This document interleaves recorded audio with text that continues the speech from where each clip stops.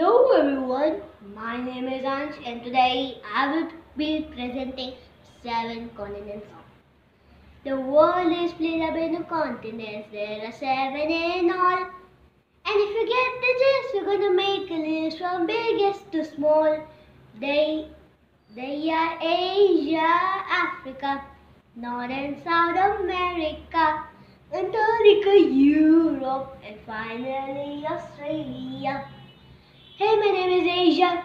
Hey, my name is Asia. And more than half of the world lives here, but whatever. And I'm Waka Waka Africa with desert for miles and my Nile is the longest river. North America start down in Panama, wide open spaces all the way to Canada. I'm South America with animals galore where the rainforest grows, the rain really pours. Oh, Antarctica and all to the ice. And I'm Europe. You're welcome. With the pasta, pizza, waffles, and fries. I am Australia, so call me Oceania. I got a lot of islands, too many to explain to you.